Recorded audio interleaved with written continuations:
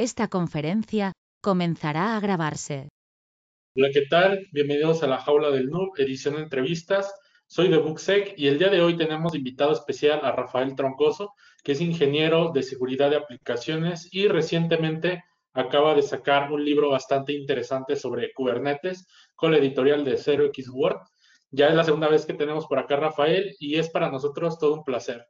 Y para nuestra audiencia, gracias a nuestros patrocinadores Cyber Hunter Academy, ingresando el código La Jaula OSINT, tendrán un 10% de descuento en el curso de OSINT para principiantes. No se lo pueden perder. Bienvenido, Rafael. Muchas gracias. Gracias por la invitación.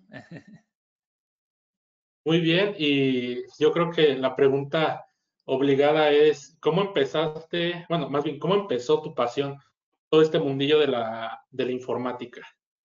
Sí, bueno, yo creo que desde, muy pequeñito, eh, yo tenía un amigo que yo tendría nueve años, ocho, nueve años por ahí, y, este amigo pues me llevó un día a su casa y su hermano mayor tenía un ordenador, un Spectrum, entonces un 48, 48K, ¿sí?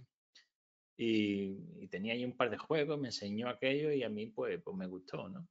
Y, nos poníamos a copiar, eh, tenía un libro de, del espectro, tiene un manual de usuario, digamos, ¿no? Con, y al final recuerdo que tenía pues programitas que tú podías escribir en BASIC y los ejecutabas esos programas y, aquello pues hacía algo, ¿no? No tenía ni idea de lo que hacía, pero bueno, se veían dibujitos en la pantalla y demás.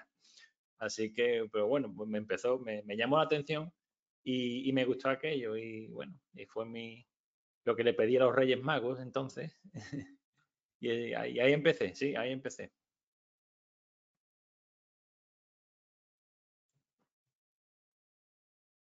Eh, una pregunta que seguramente muchos que todavía desconocen algo sobre esto se harán y que yo la hago para pasar a la otra pregunta que sigue después de esta. Eh, ¿Qué es Kubernetes?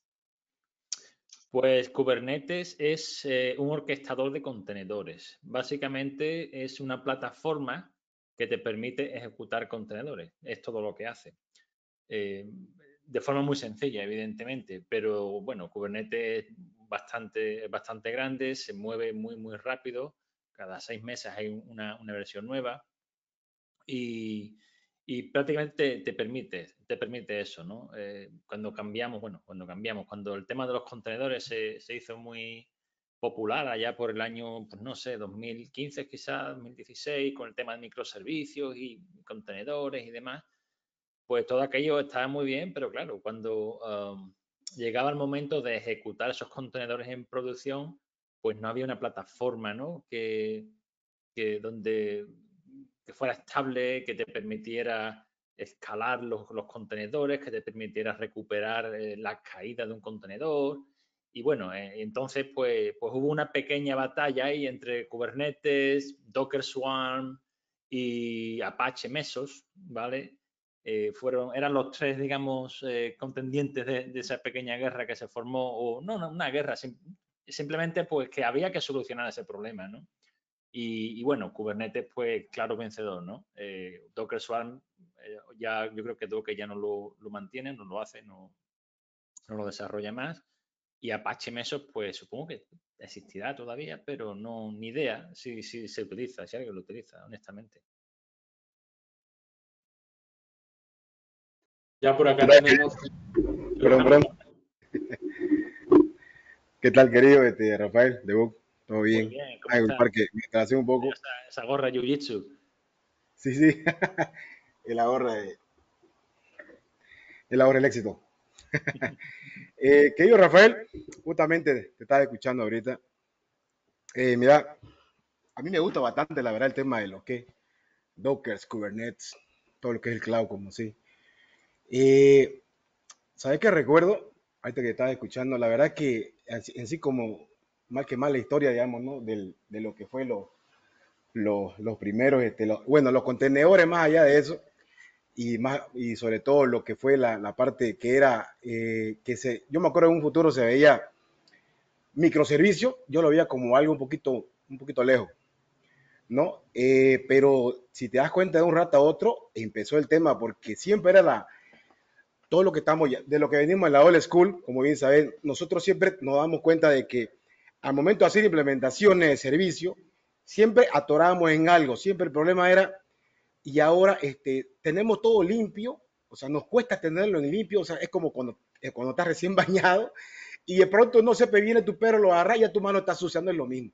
Te das cuenta, ya no, es como que no querés tocar nada, ¿no es cierto? Es una analogía muy tonta, pero yo así les enseño a mi, a mi, a mi, a mi sobrino y otro alumno que tengo, que es como cuando tenés un sistema súper limpio y no querés que, se sucie con nada.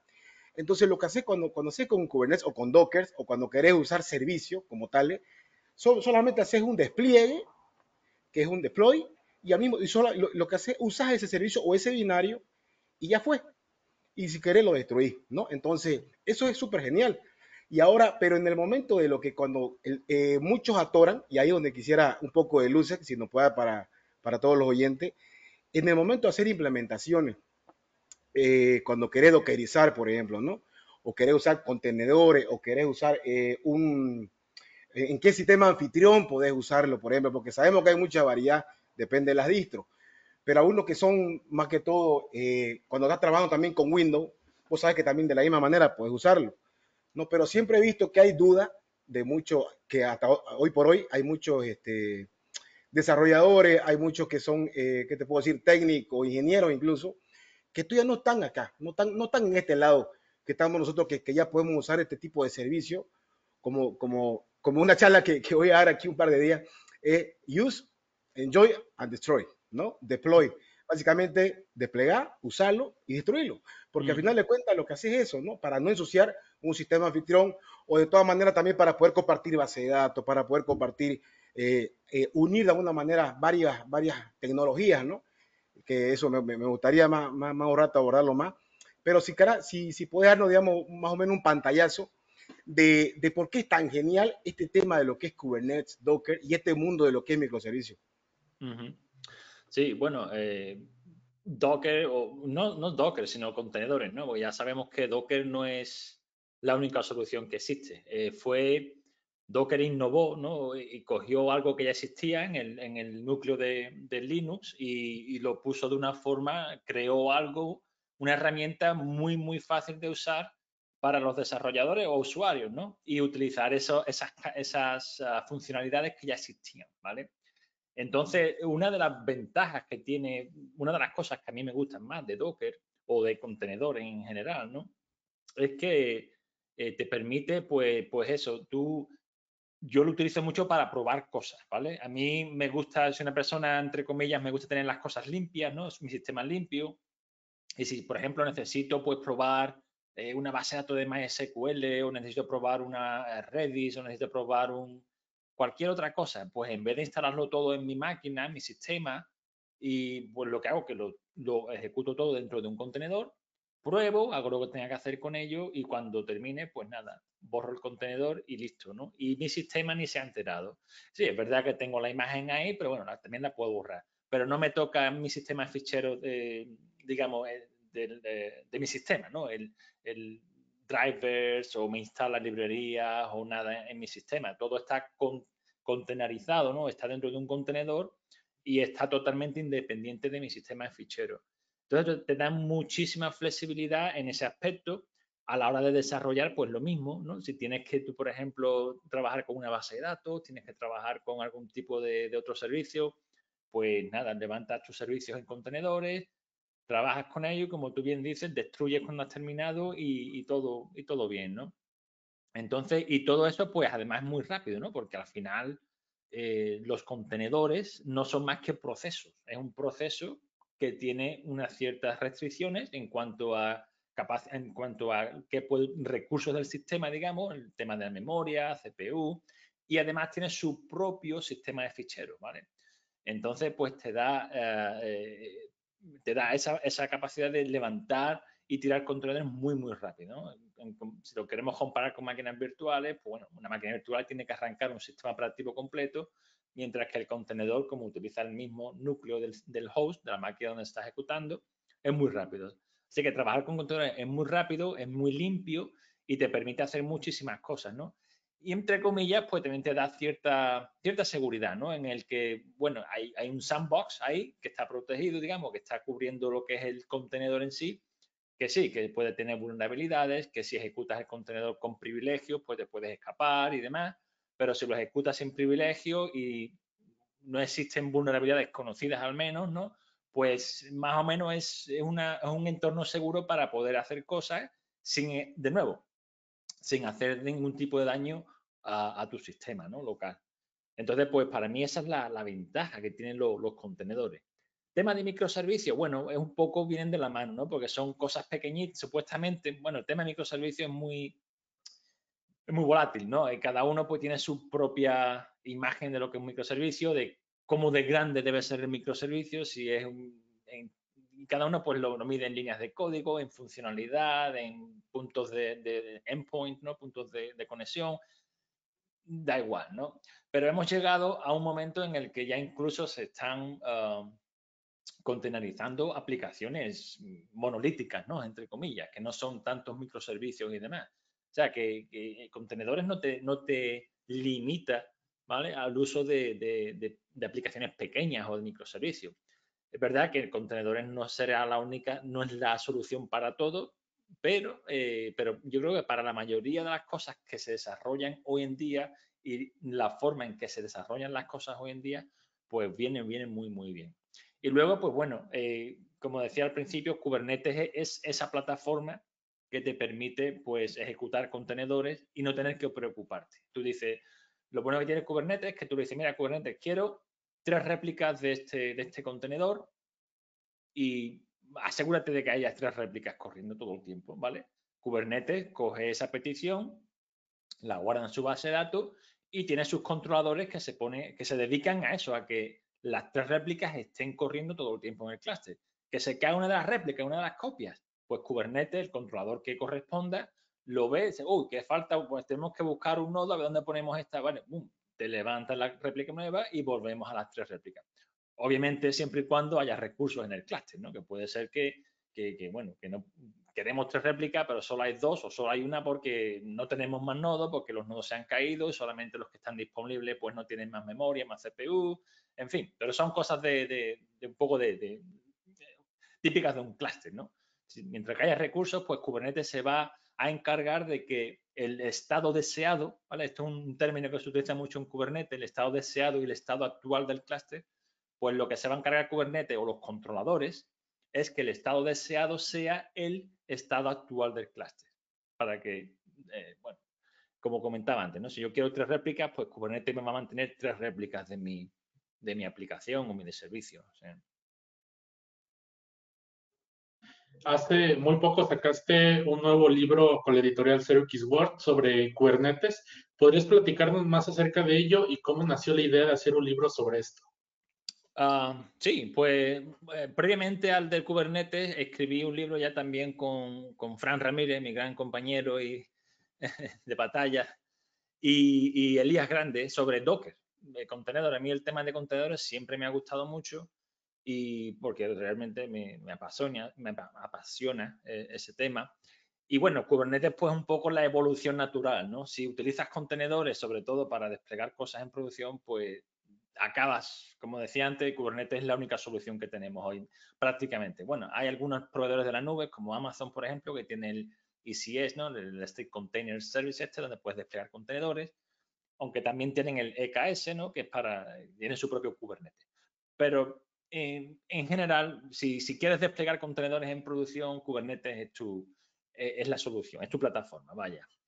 Entonces, pues la idea pues, era un poco eso, la evolución del libro anterior. Eh, y de nuevo, la pasión, como eh, me gusta tanto este tema y demás, pues me, eh, tanto en el trabajo como de forma personal, pues me he trabajado bastante con Kubernetes. Y, bueno, y, la idea pues vino de ahí, mira, ¿por qué no hacer un libro ahora de Kubernetes que un poco es eso, ¿no? Es lo siguiente a, contenedores, porque esos dos contenedores están muy bien, pero bueno, si tenemos que poner cosas en producción, necesitamos saber un poco más de esa plataforma, ¿no? Entonces, de ahí, de ahí vino un poco la idea, sí. No, la verdad que está genial. Lo que pasa es que hoy por hoy, como justamente te, comentaba hace rato, eh, la idea de aclararlo era eh, tal cual lo, explicaste, mejor imposible, porque eh, ahora lo que hay que hacer son, de alguna manera, automatizar los procesos automatizar. Eh, recuerdo yo que cuando comencé un poco con, también con este mundo, era, eh, yo uso bastante Ansible, que me gusta para hacer este deployment. Y bueno, como Ansible hay, varios, bueno, que puedes usarlo, puedes, como se dice, este, unificar varios. Y, me gustó algo que me, que me comentó alguien el otro día, Quimera, que vos tenés que unir tecnología o, ciencia o, cualquier cosa que, nunca pensás hacerlo antes, ¿no?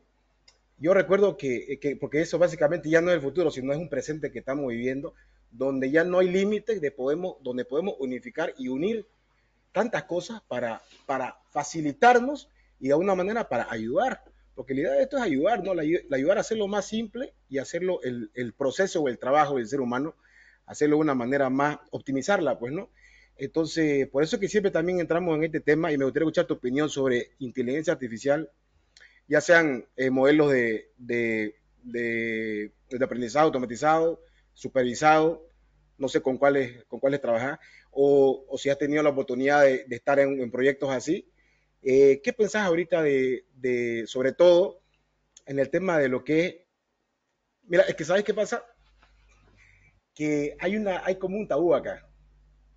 Y te voy a ser más franco. Hay un tabú acá, para no entrar más, para no ser más técnico Inteligencia artificial, así esa palabra como tal, te das cuenta, ¿no? Primero tenemos que entender qué es inteligencia humana, ¿no? Y después inteligencia artificial, ¿no? Y sobre todo, siempre está este tema de que, de que será que nos va a reemplazar, será que ahora con, con tanta tecnología, con todo lo que se viene, será que inteligencia artificial, será que podemos de alguna manera perder el control de lo que estamos haciendo, ¿no? Si, si hoy por hoy, con todo lo que, la capacidad que existe en el ser humano. De hecho, igual, mira, con esta pandemia, con algo que supuestamente, si hablamos de ciencia, la, la, vos sabes que la, la, biología está, o sea, es, es, es, el, paso número uno. Y ahora estamos acá con, con, tecnología, ¿no? Y estamos uniéndolos, como te hablé hace rato, Quimera. Pero el tema es que, eh, ¿a dónde vamos? ¿Qué va a pasar? ¿Te das cuenta? Porque si al mismo tiempo estamos haciendo algo genial, Mira, por ejemplo, el, libro que vos que estás aportando está increíble. No, no, nos está ayudando bastante, pero al mismo tiempo eh, también se está haciendo conciencia, etcétera. Pero vos que personalmente tu opinión, al tanto donde vos estás ahora en este momento, ahorita, ahora que estás sentado aquí en la jaula del NUP, que en realidad no es ponerte en jaula, sino que te preguntes vos y a veces uno no, no tiene la respuesta hasta que no se escucha. Mm. Porque seguramente tenés respuesta en tu cabeza, seguramente ahorita tu, cerebro está mil, te apuesto que está diez mil veces que me puede dar respuesta. Pero seguramente cuando, estás, cuando vas a hablar en este momento, que te da la palabra, yo sé que vas a encontrar respuestas que nunca las has mencionado en voz alta. Por eso me gustaría escucharte. Sí, bueno, la pregunta es con la tecnología. ¿Dónde vamos con la tecnología? O, sí. Sí, bueno, yo creo que la tecnología está aquí para, para facilitarnos la vida, ¿no? Eh, inteligencia artificial, eh, como lo que queramos, ¿no? Pero yo creo que como todo en la vida eh, se puede utilizar para bien o para mal, ¿no? Ah, la inteligencia artificial, pues tienes que tener una cosa muy en cuenta, que los modelos, yo no, no trabajo con inteligencia artificial y, así que lo, que lo que diga a lo mejor pues no es muy correcto, pero es mi opinión, ¿no? Los, cuando, cuando tú entrenas un modelo, lo entrenas con datos, ¿vale? Entonces, tienes que tener muy, mucho cuidado con los datos que utilizas para entrenar ese modelo. ¿no? Hubo, hubo un estudio donde creo que fue el gobierno de los Estados Unidos, empezó a entrenar unos, eh, modelos de inteligencia artificial con datos de los años 40, 50 en los Estados Unidos. Y lo que pasó es que ese modelo pues empezó, eh, cuando tenía que tomar decisiones, tomaba decisiones racistas porque los datos que existían eran datos racistas en el pasado, ¿no? En Estados Unidos. Hace, vamos, en el pasado, hace 70, 80 años, tampoco demasiado. Eh, entonces, pues es una cosa que tenemos que tener muy en cuenta, ¿no? Y esto con la tecnología, pues se puede utilizar para, muy, para bien o para mal. Eso lo vemos todos los días con eh, el malware, ¿no? El malware, pues, no es más que un programa, un software que se ejecuta en una máquina y, bueno, que, te puede robar, que te puede, si es un eh, ransomware este, ¿no? Te encripta el, disco y, o los datos y hasta que no, pagues el ransom, el rescate, no tienes nada. Eh, robots, ¿vale? Ya está, se estamos viendo como los robots se, los están armando, ¿vale? Ya le ponemos pistolas y rifles a los robots, los drones, ¿vale? Vemos como los drones ya, como ya los aviones de guerra, de combate, pues se ven muy pocos los que hay un piloto de verdad, sino que es un, alguien sentado en un sótano en algún lado, en, alguna, ah, en algún sitio, edificio militar, pues con un joystick como el que está jugando un videojuego y lo que está es manejando un drone y soltando bombas, matando gente, ¿no? O sea que la, la, la tecnología pues eh, está aquí para facilitarnos la vida, pero desafortunadamente eh, le podemos, como siempre, como todo en la vida, ¿no? Le, podemos dar muy mal uso, ¿no? Eh, como el, cuchillo de cocina o el fuego, ¿no? La importancia de los fuegos en las vidas, ¿no? ¿Cuánta gente han, sido quemadas? ¿O cuánta gente han sido apuñaladas con un cuchillo de cocina? Tenemos que, ¿sabes? Entonces, pues sí, eh, la tecnología está aquí para ayudarnos y nos está ayudando muchísimo. Imagínate con la pandemia que hemos tenido, esto eh, hace un par de años, ¿no? El no, tener acceso a, tecnología como Internet, por ejemplo el no poder eh, trabajar remoto porque no tenemos acceso a esa tecnología, el poder comunicarnos con la familia, el poder, pues, no sé, recibir información, punto, ¿no? Sobre, sobre lo que está ocurriendo, la pandemia.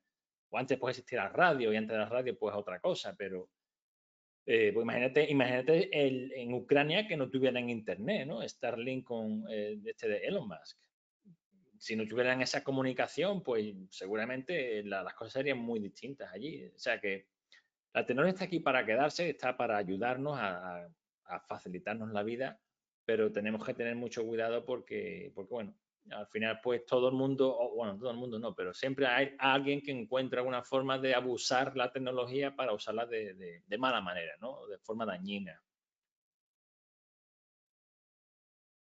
Seguramente alguien de nuestra audiencia esté interesado en estudiar sobre esto. Y mi pregunta es, ¿qué es y en qué consiste la seguridad de aplicaciones?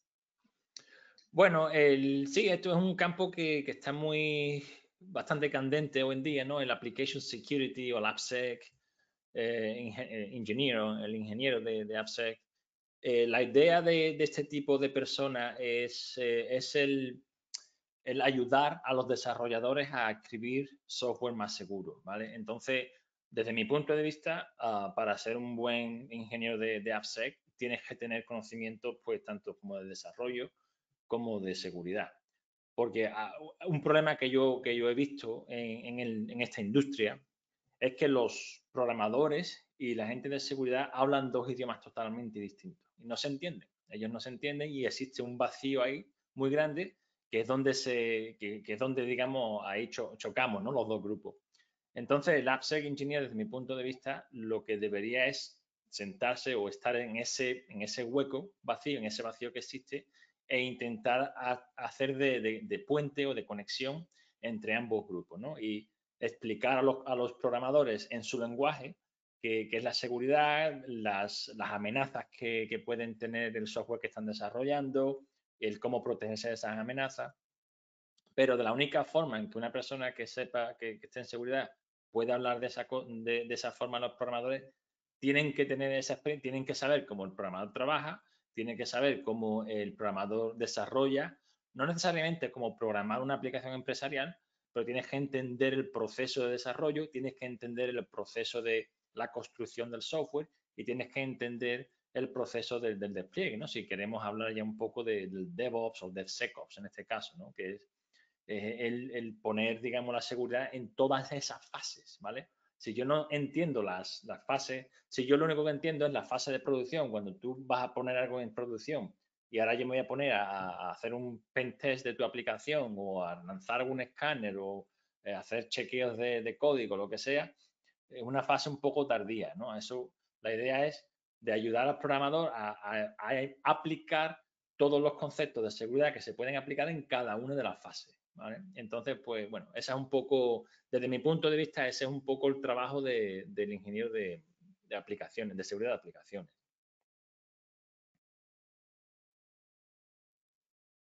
La verdad que ahora hay una, hay una variedad increíble, ¿no? En todo lo que es el...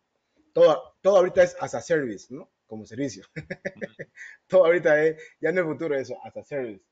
Ya es hacking as a service, security as a service, ya de todo, ¿no?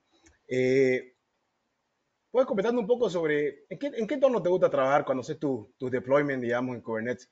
¿Qué, qué, qué, recomendaría, digamos, a lo, a lo que están comenzando? Sé que, sé que lo planteas bastante en tu, en tu libro, pero así, digamos, para aquí, para los oyentes, y también tengan, para que lo dejes picado un poquito, con ese saborcito a más, para que puedan acceder a tu libro, eh, que, está, que, que, que, la verdad que eh, darse el trabajo, la verdad que mi respeto y se valora bastante, porque uno puede entender como, como tal una, una tecnología o un, un, o un, nuevo, un nuevo sistema, soft, lo que sea.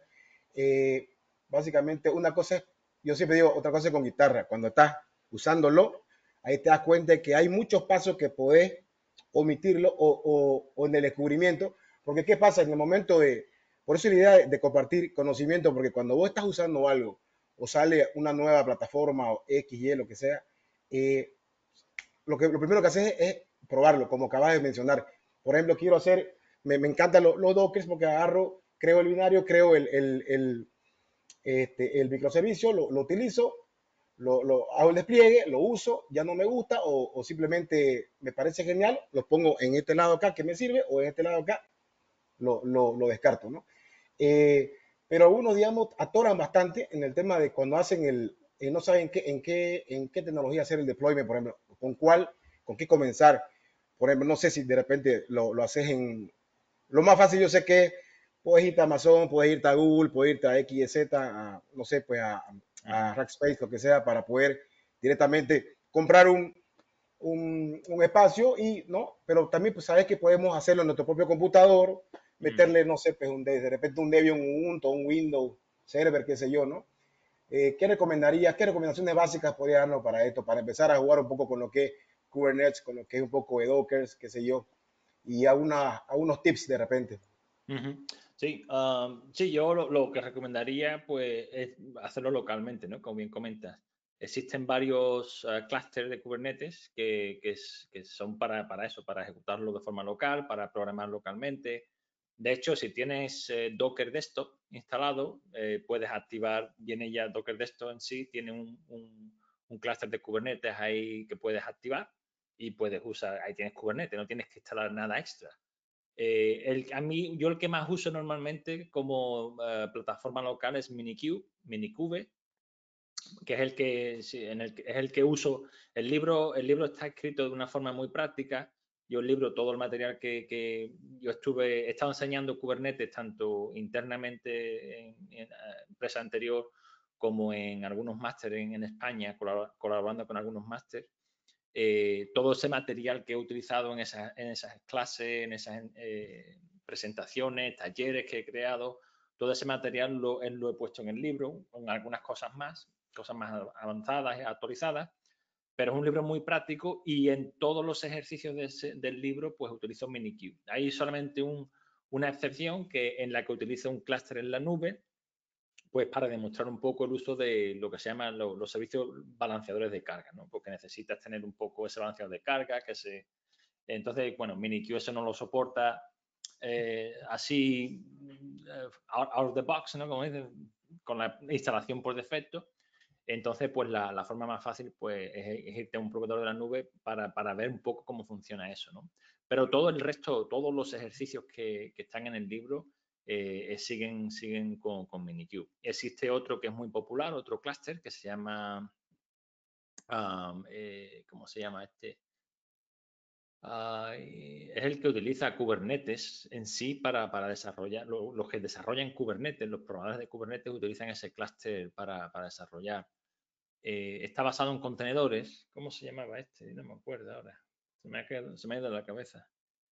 Lo mismo me acuerdo más tarde y lo, y lo, y lo comento. Pero bueno, Minikube, eh, aunque bueno, Minikube al principio utilizaba máquinas virtuales por, como para crear lo que son los nodos del clúster, ¿vale?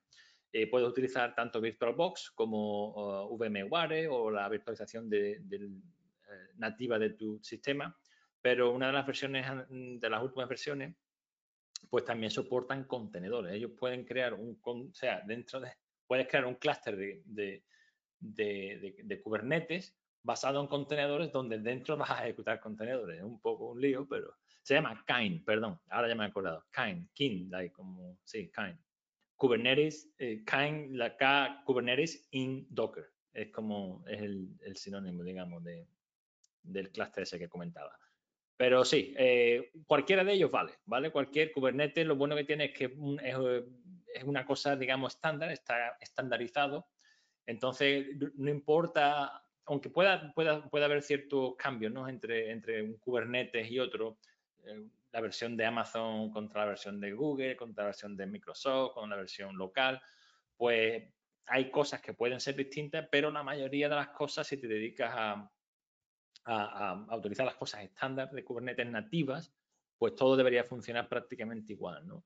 Que eso es otra de las cosas que hago un poco hincapié en el libro, ¿no? En el libro hay muchas cosas que son externas a Kubernetes, pero yo todo lo que comento en el libro es nativo, con lo cual cualquier cosa que aprendas en, el libro, pues lo puedes aplicar a cualquier Kubernetes en, la nube, incluso OpenShift, que, es, el, que es un Kubernetes eh, un poco, es una versión de Red Hat sobre Kubernetes, digamos. Ellos cogen Kubernetes y le añaden algunas cosas especiales encima y, sí, incluso en eso, en ese, en ese, en ese tipo de clústeres. Para ser ingeniero, ingeniero en seguridad de aplicaciones, hace rato nos mencionaste que se tiene que tener conocimiento sobre programación y seguridad. Pero en la parte de programación, ¿qué lenguajes son como los principales que se deben de saber? ¿O se tiene que saber de todos los lenguajes de programación que existen? Bueno, esa, es un poco mi opinión, ¿no? Porque yo entiendo que si no sabes mm, programar, mm, yo creo que no puedes ayudar a un programador. Eh, es mi opinión personal habrá gente que opine de forma distinta.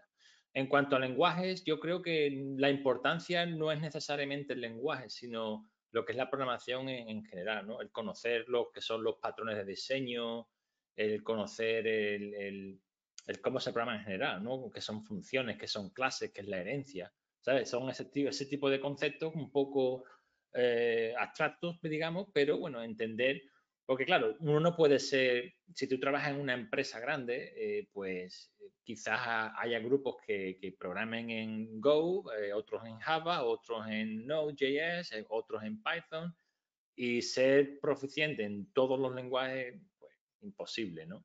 Entonces no tiene uno que conocer en detalle el lenguaje, aunque sí que es verdad, es importante conocer las, ah, las, los problemas de seguridad que afectan a algunos lenguajes y a otros no, por ejemplo. Eh, como ejemplo, no sé, el tema de la deserialización de, XML, ¿no? Por ejemplo, eso es una cosa que normalmente afecta, afectada más bien, pero bueno, es un poco más prominente en, los entornos de Java. Eso pues no se ve mucho en Go, ¿no? Eh, ese tipo de cosas, ¿no? PHP eh, pues tiene sus propios problemas de seguridad, Python puede tener sus propios problemas de seguridad, eh, JavaScript también puede tener su... Entonces, conocer un poco eso, pues está bien, pero yo creo que no tienes por qué conocer un lenguaje en concreto ni, ni, tampoco en detalle. Eh, yo creo que sabes programar, pues sí, seguramente conozcas alguno. Eh, en cuanto a los, a los, lenguajes de programación que, por lo menos que yo he visto más que se utilizan en las empresas, pues a nivel empresarial, Java, Go está tomando muchísimo, muchísima, uh, está comiendo mucho terreno al Java. .NET, si la empresa está basada en, Microsoft.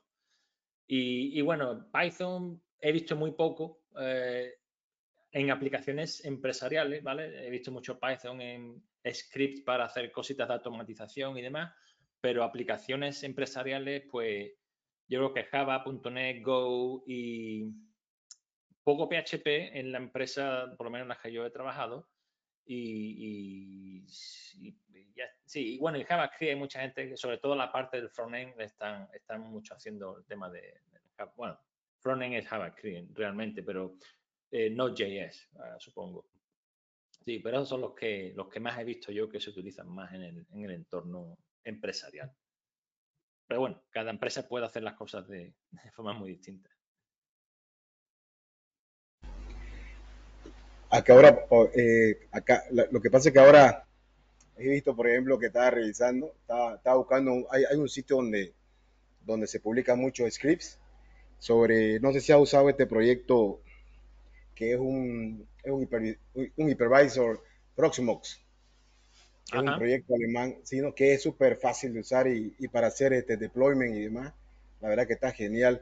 Y ahora, no sé si has usado este sitio donde, donde se publican varios scripts que están en GitHub también, donde, donde se, se, se, puede colaborar bastante, ¿no? Para hacer deployment mucho más, más rápido y automatizar también, ¿no?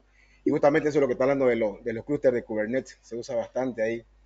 Eh, bueno, que Promo está basado en Debian, pero es súper fácil de usar, ¿no? Y, y, y, Debian pues es bien amigo, ¿no? Es, un, es, un, es una distro que la verdad que es súper amigable, ¿no? No es, no es muy complicada. Eh, coméntame ahora, me gustaría escuchar tu...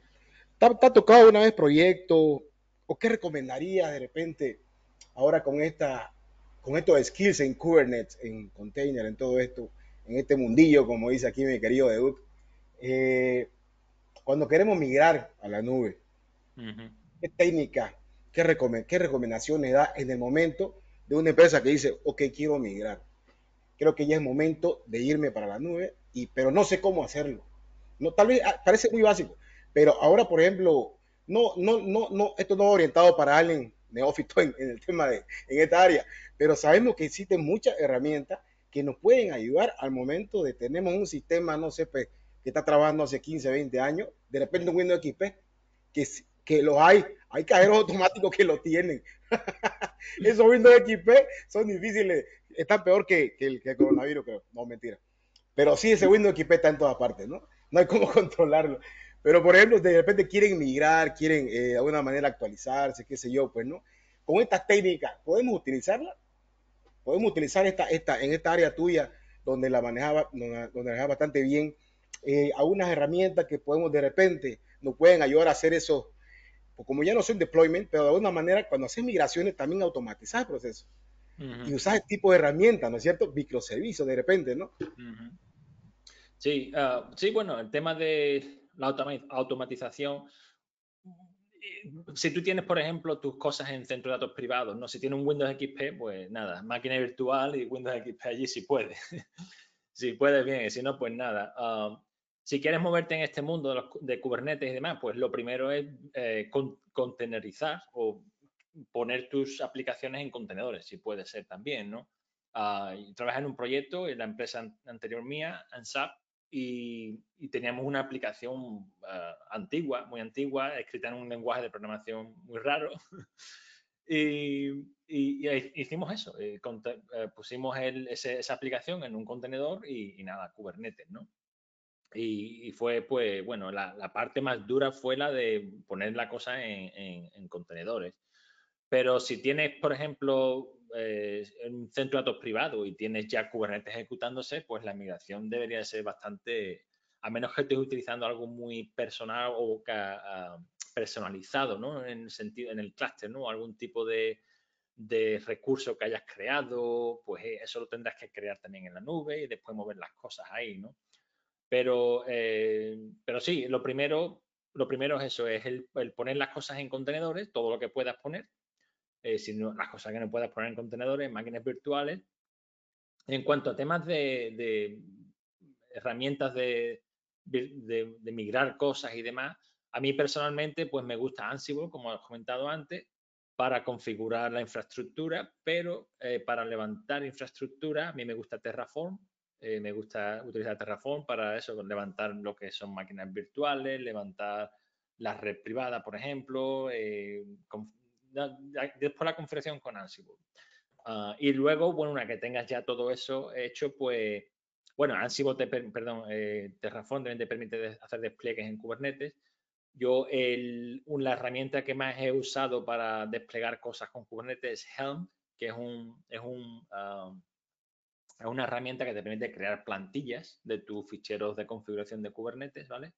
Y, pues claro, cuando uno despliega cosas en entornos de empresariales, pues suele tener entornos de, desarrollo, entornos de QA, entornos de producción. Todas las cosas, pues no, no, tú no vas a crear tres configuraciones distintas para, para, para cada entorno, ¿no? Sino tú que creas una configuración, digamos, estándar, una plantilla con ciertos valores que son lo mismo y después los valores que van a cambiar, pues eso lo configuras aparte y ya cada plantilla, o sea, cada entorno tiene sus valores, pero utilizas esa misma plantilla, ¿no? Entonces esa es la herramienta que, más he usado de Helm. Existen otras. Perdón, no, perdón, que ahorita que, que, que, comentaste, que Terraform, eh, justamente estaba yo, yo, estaba esperando en qué momento él lo va a mencionar, por eso te lo he picando ahí con, con Ansible, es que es genial, ¿no? La verdad que es genial. Por eso quería escuchar tu, tu, comentario y yo sabía que es que cuando estamos, como, se, como dice The Book, en este mundillo, siempre vamos por ese norte de esas herramientas, siempre estamos por ese norte de esas herramientas, porque nos damos cuenta cuando la estamos usando, ¿qué, qué más? ¿Y ahora qué quiero? ¿Y ahora yo qué hago? ¿no? ¿Y ahora qué necesito? y, un poquito de research, porque aquí la clave del éxito es el research, ¿no? Estar investigando, mm. eh, porque vos cuando lo estás usando todos los días, ahí te das cuenta qué necesitas y cómo puedes optimizarlo, ¿no? Y mira lo importante que es, y por eso sí me gusta mencionarlo, lo que es eh, hacer la wiki. Siempre hay que, cuando vos haces, eh, yo creo que este es un, es un tip que todo el mundo lo, lo conoce, pero siempre hay que hacer eco.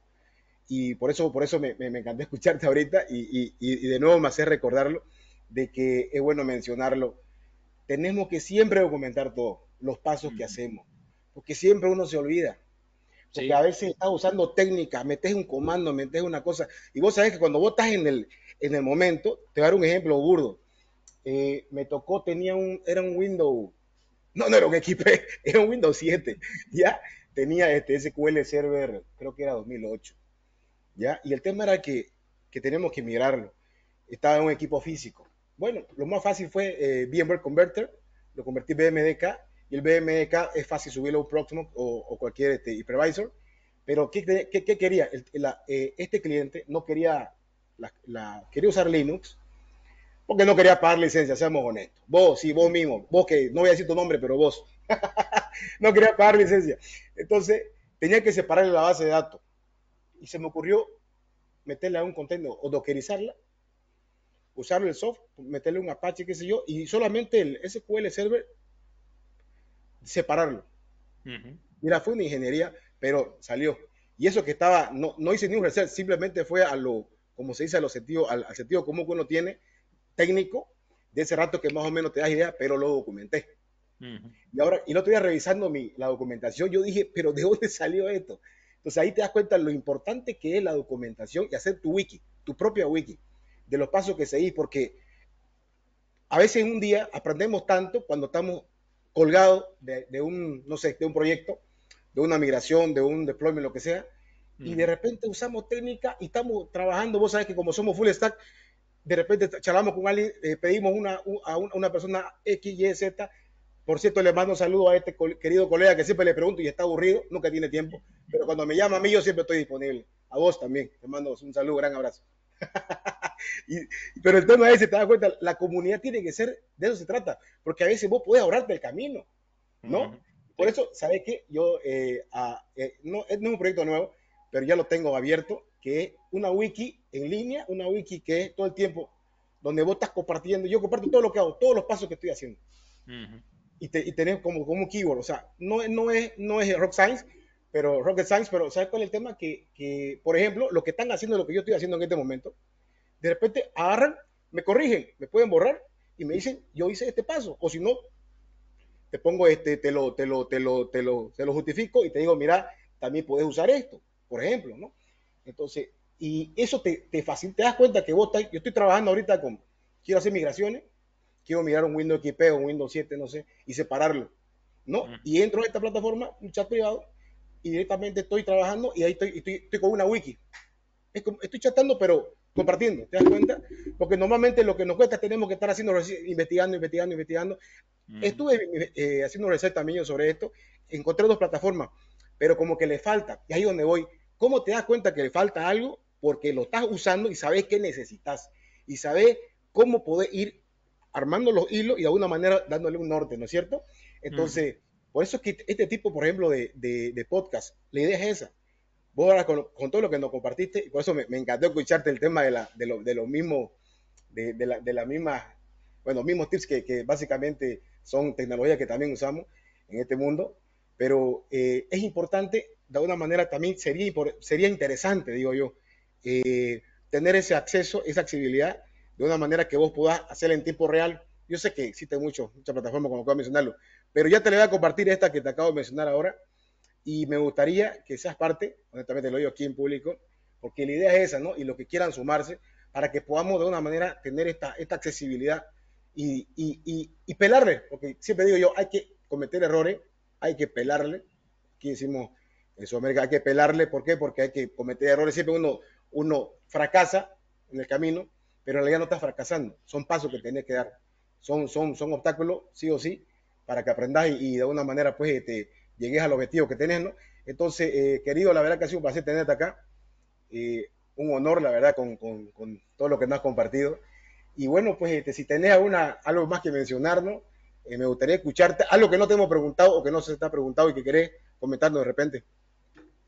Sí, bueno, no, ah, lo que comentas de la wiki, la documentación es muy, es muy importante. El problema que yo siempre veo con la documentación que normalmente no se mantiene al mismo ritmo que, las cosas, ¿no? Cuando eh, hacemos la cosa aquí en día, esto funciona, lo documento, mañana llego, uy, esto está roto, cambio aquí, arreglo y se me olvida volver a la documentación y no lo documento. Y el que viene detrás, pues, coge la documentación y, se da cuenta de que algo no funciona, ¿no? Entonces ahí llegan los, problemas. Entonces, una cosa muy pragmática aquí, ¿no? Yo siempre he dicho, cuando yo antes era, he, escrito mucho software, ¿no? Como desarrollador, y una cosa que, que yo siempre intentaba hacer era que el código, el propio código, fuera la documentación, ¿no?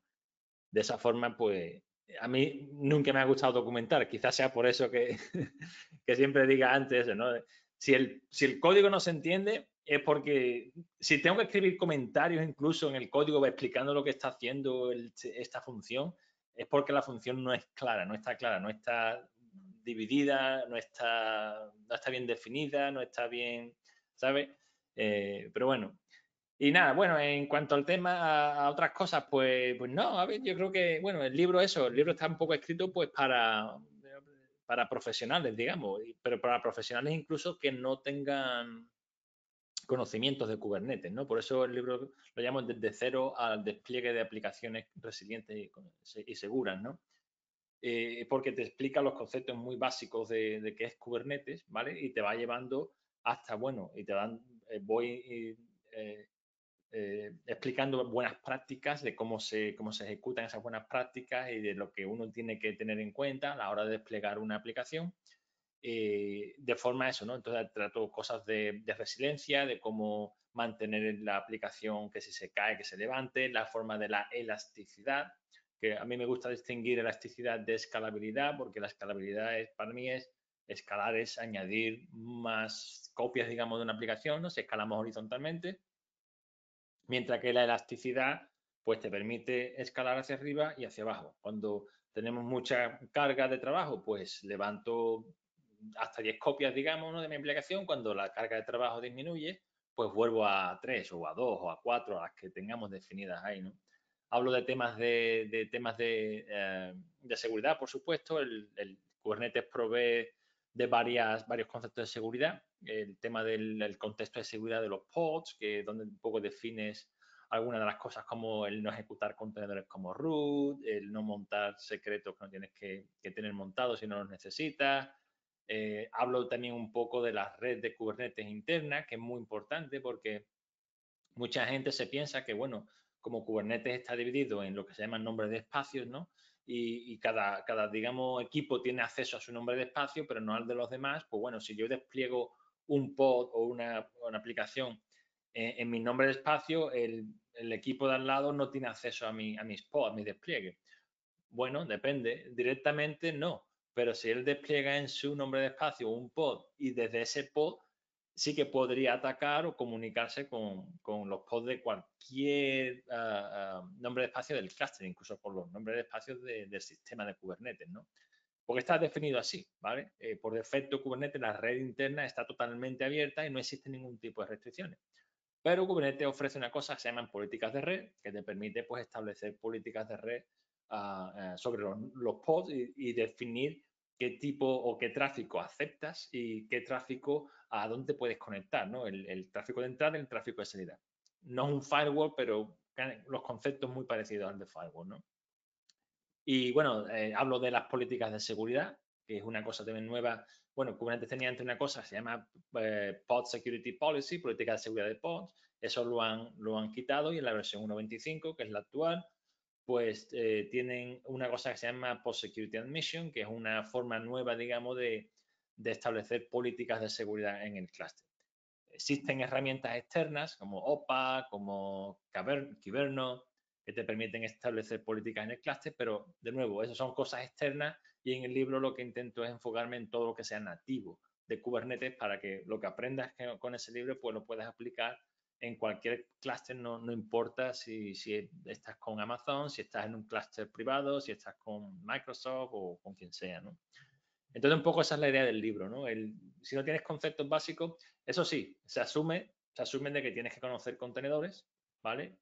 Si no conoces contenedores y te, gustan los, libros, quieres aprender con un libro en español también, pues Zero tiene un libro que es Docker DevSecOps, ¿vale? O SecDevOps, que, bueno, que yo soy coautor de ese libro también, y, ese pues sería, digamos, un poco el inicio. ¿Que ya sabes contenedores? Pues sí, métete con Kubernetes. ¿Que no sabes contenedores? Pues tiene, eso, eso sería un prerequisito. Si no conoces con, contenedores, no, no vas a hacer nada, no vas a hacer mucho con Kubernetes porque al final, como decía, Kubernetes es una plataforma para ejecutar contenedores. Entonces, si no sabes cómo crear un contenedor, cómo ejecutarlo y demás, pues, pues no te va a hacer de mucho, mucha ayuda, ¿no?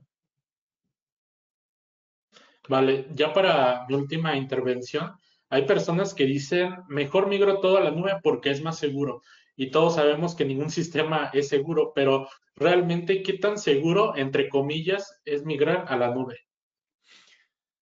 Pues para mí la seguridad siempre eh, está directa, es directamente proporcional a los conocimientos de la persona que trata con la migración en este caso, ¿vale?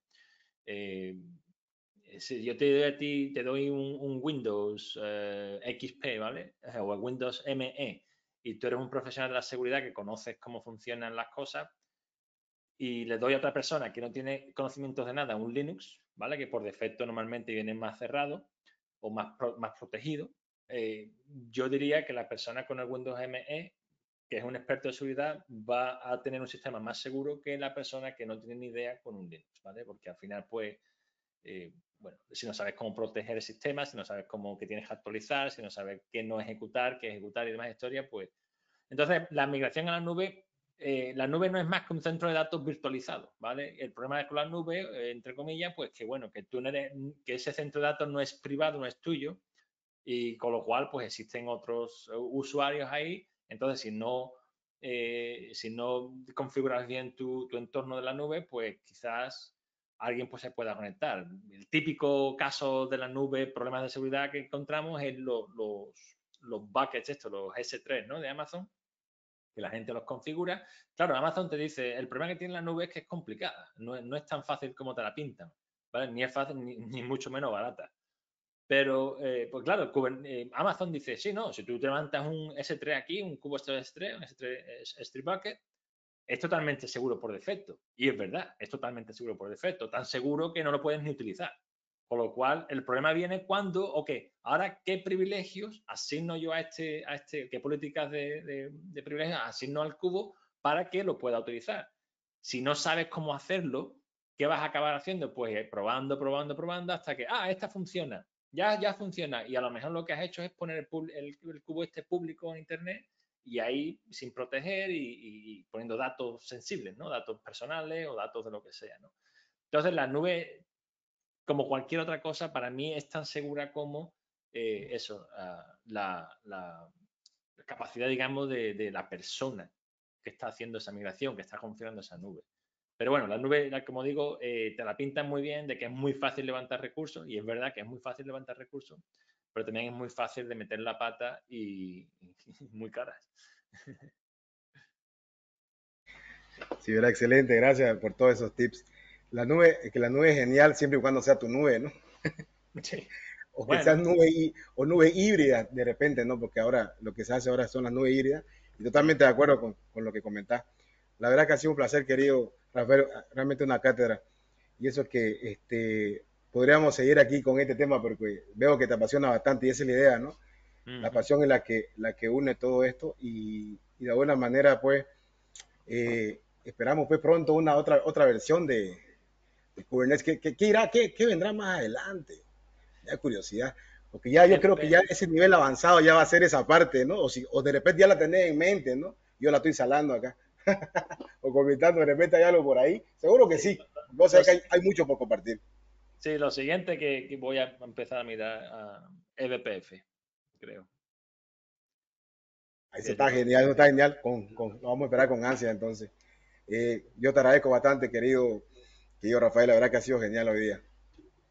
Pues nada, muchas gracias por la invitación, por la entrevista de nuevo y, nada, que a ver si lo hacemos otra vez en el futuro, porque tengo otro libro. Claro, por supuesto, en verdad ha sido un placer y un honor tenerte en esta nueva entrevista, Ángel. Eh, perdón, Rafael.